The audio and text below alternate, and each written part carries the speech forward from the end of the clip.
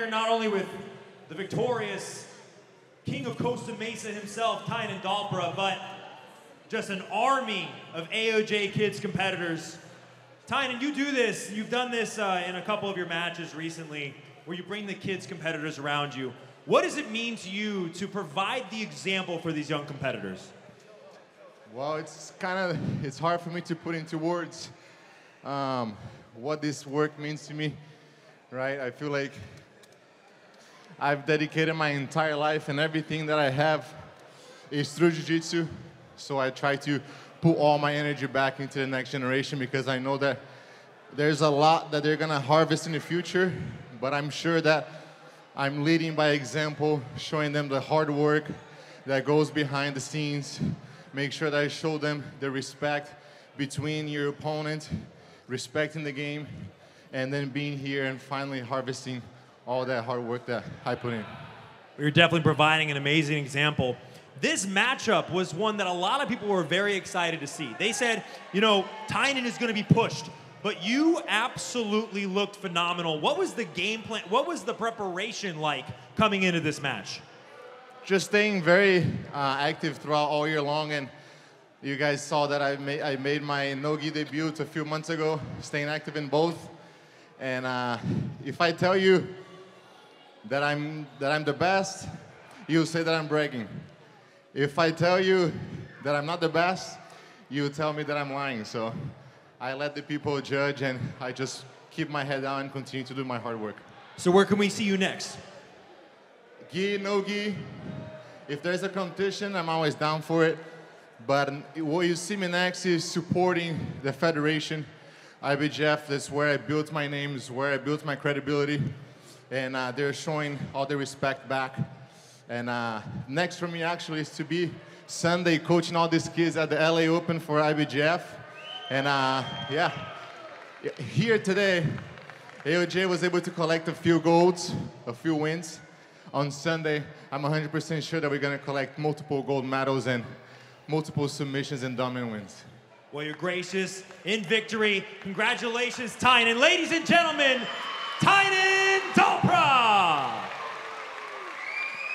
Before we cut to a break, just want to remind you guys that the IBJJF Absolute No-Gi Grand Prix is brought to you by Kingz Kimonos. Go to kingz.com, check out their gis, no-gi gear, and apparel. We'll be back with our GP final.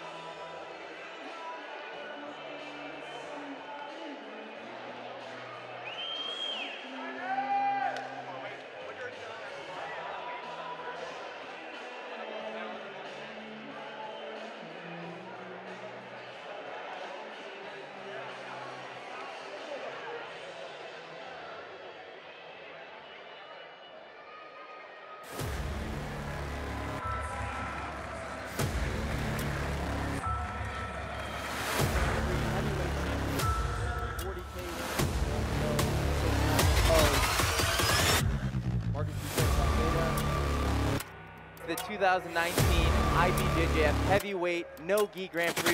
Robert to Roberto Cyborg. Good for him. The oldest Wow. triple one submission qualifies uh, Vicky Hugo. Middleweight GP takes the win and the $20,000 with a submission. And two leading into a pass. Grand Prix champion. Nicholas and Victor. Hugo get that angle. Gets the submission victory. Beautiful victory for Victor Hugo. And Nicholas Meregali is the IBJJF Grand Prix Absolute Champion. Beautiful. We are back at the 2024 IBJJF Absolute No-Gi Grand Prix. It's been an absolutely insane night of action, and we got our last match of the night, the GP final. Jiu-Jitsu, Kaynan Duarte. Kaynan Duarte of Atos Jiu-Jitsu, two-time world champion, world no-gi champion, European champion, absolute GP champion in the gi, looking for his second absolute GP title, this time without the gi. Jake, he's been dominant so far today. Absolutely. He's looked impressive in his ability to safely and efficiently move forward in the guard. New Wave Jiu-Jitsu, Giancarlo Bodoni. And his opponent, Giancarlo Bodoni of New Wave Jiu-Jitsu, came to New Wave in 2021. Since then, his game has risen to an absolutely another level. Looked incredible tonight. Beat Patrick Gaudio, beat Pedro Rocha. And this is a match I think a lot of people were really looking forward to heading into tonight, Jake. Yeah, Kaynan and Giancarlo were the names being thrown around by a lot of fans and a lot of media pundits. Just seeing who was going to make it to the final, who, who was speculated to make it to the final. Kaynan in on a single leg to start this match off. Immediately. Wasting no time. Trying to put Giancarlo down. Going through a big effort. Good recovery by Giancarlo. Oh, kind of trying to get to the back now. Behind the hips of Giancarlo. Good start here for Kaynan Duarte. Dragging him down to the ground.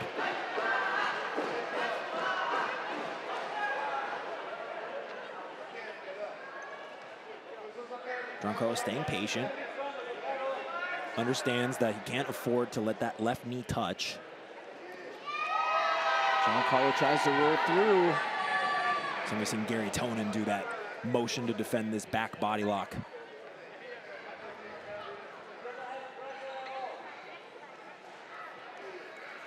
One minute in, Kaynan Duarte in a good position on Giancarlo Bodoni.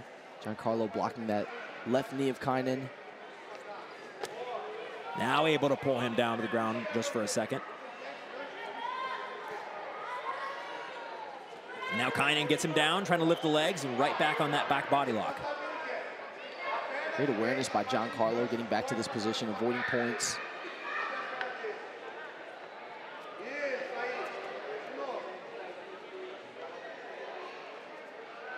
Kind of trying to trip that inside leg, break Giancarlo down.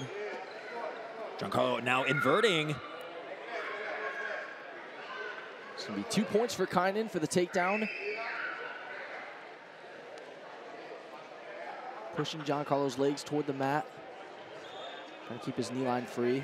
At certain points in Kaynan's career, he has been caught with some of these no-gi specific leg attacks, but able to evade that situation. This is a position we've seen Kaynan in all night, this knee cup position, trapping the leg, trying to beat the knee shield. Passed the guard to Haisam Rida twice in his first match, the quarterfinal. He has a need to change up his game plan in response to either Haisam or Dante, his first two opponents in the day. There we saw knee cuts and him forcing the half guard position. Yeah, usually when he's able to get that deep underhook, he, he goes back and forth. Right now, that right hand on the hip, he's looking to be able to potentially block the leg, the far leg, and look for an underhook to force half guard.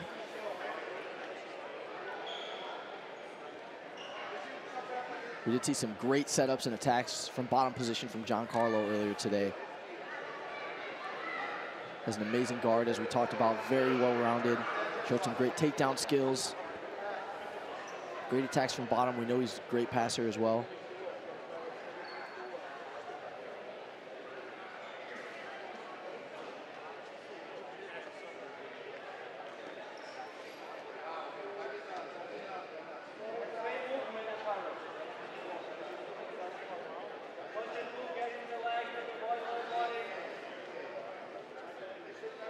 Giancarlo looking for a small inversion underneath. Perhaps felt, perhaps felt some danger impending.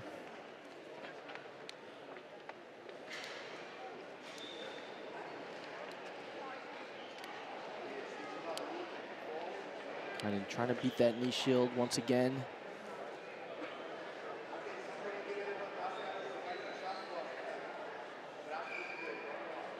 It's a strategy that we've seen him use a lot and that sometimes takes a bit of time for him to really wear down his opponent. I think what it allows him to do as well is also make some reads on what his opponent's tendencies are. When he's just kind of coming forward and providing little changes and, little movements here and there to see how Giancarlo is going to react. But Giancarlo also is a very intelligent competitor on bottom. He's not going to extend himself too far.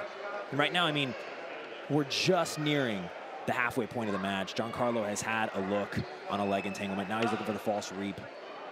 Kaynan deals with it.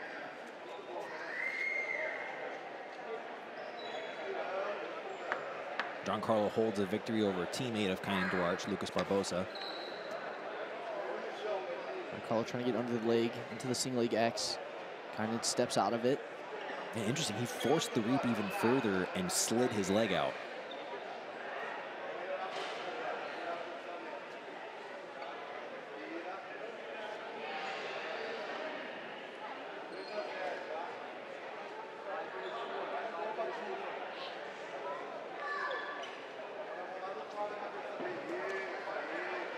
Now getting into that half guard position that we talked about earlier, Danny. And as soon as he gets in there, the crowd starts chanting he's gonna pass. Strong position for Kaynan. Great recovery by Giancarlo. One thing that his team talks about quite a bit is the importance of positional escapes and retention and being able to recover to a better position. He did an excellent job of that there. You can tell that's something he works on quite a bit in the training room. Giancarlo in on the leg. But every time, Kaynan just make sure to clear, get his knee line safe and evade that position before proceeding with another pass attempt. Four minutes left.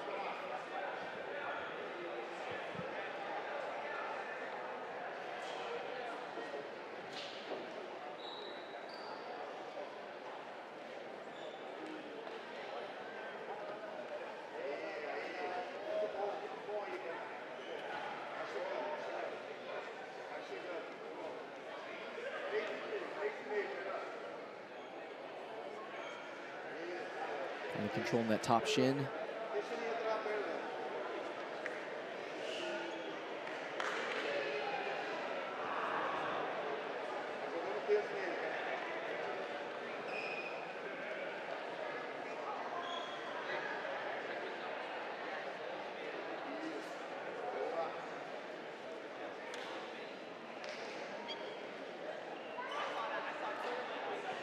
This left hand grip on the ankle, Kaynan has also been implementing effectively all day today.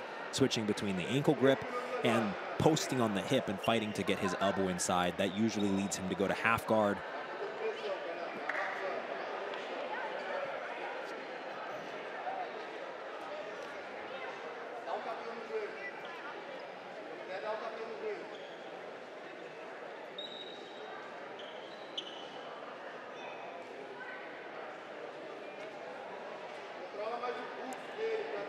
Kind of almost floating now over Giancarlo's grip. and His guard.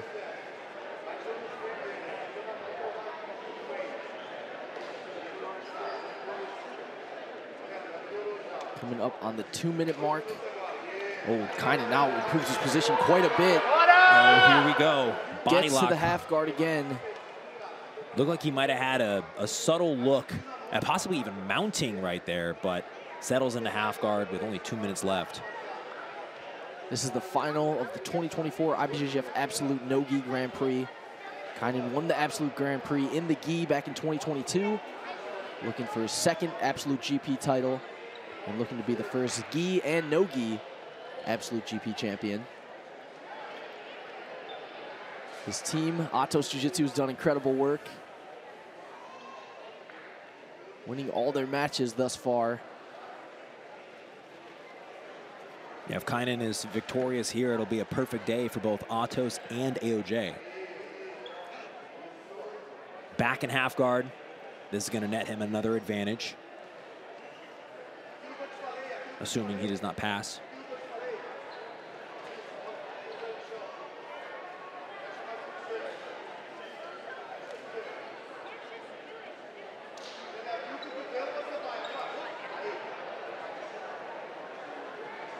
Just one minute in this, our final match of the day. Kaynan Duarte, Atos Jiu-Jitsu versus Giancarlo Bodoni of New Wave. The matchup everybody expected to happen. Kaynan started the match really strong, took Giancarlo down. Since then, he's been using his knee cut passing, forcing the half guard position, using his passing to score advantages, of which he has three right now. Giancarlo trying to make an elevation happen and make up this two points, but he's got advantages to make up as well. 20 seconds.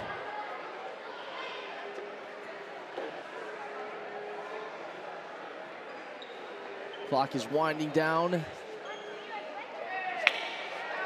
Giancarlo tries to shoot in, sits to his guard. And it's gonna be Kaynan Duarte who wins his second IBJJF Absolute Grand Prix title. He's an Absolute Grand Prix gi champion and an Absolute Grand Prix no gi champion. Unprecedented moves from Kaynan Duarte. Atos perfect on the day. And that man does it again. Kaynan Duarte absolutely dominant throughout the day here at this IBJJF Absolute No Gi Grand Prix. And your champion is Kaynan Duarte. Kaynan Duarte is the IBJJF Absolute No Gi Grand Prix champion.